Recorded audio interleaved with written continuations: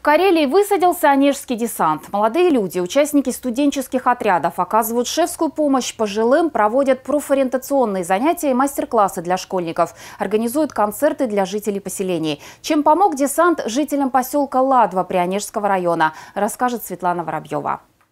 Последние два дня в Латвии выдались многоснежные. Снега выпало столько, сколько не было еще этой зимой.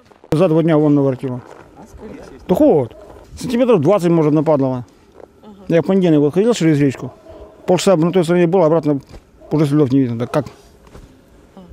Сейчас опять снег пошел, не знаю, что будет. В этом доме живет Зинаида Ивановна, обладатель разных трудовых наград. Живет одна, сын и дочь приезжают из города по очереди на выходные.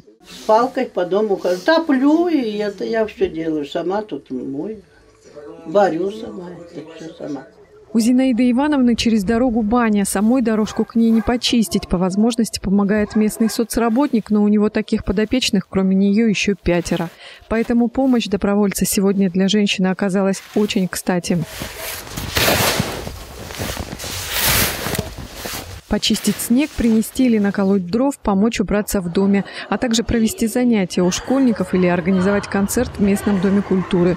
Готовиться к Онежскому десанту начали еще в ноябре прошлого года при поддержке Общероссийского народного фронта.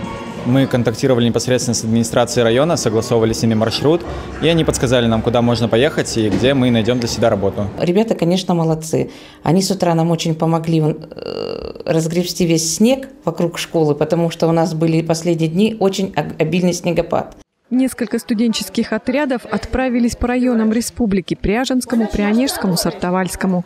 В составе в основном студенты Петрозаводского госуниверситета, но есть добровольцы из Санкт-Петербурга и Великого Новгорода. В свои каникулы хочется чего-то на месте не сидеть, там помогать всем, всем, кому можно. А по окончании работы Онежского десанта выйдет методическое пособие в помощь будущим организаторам подобных акций. Светлана Воробьева, Александр Борисов, сам по ТВ-360, поселок Ладва, Прянежский район.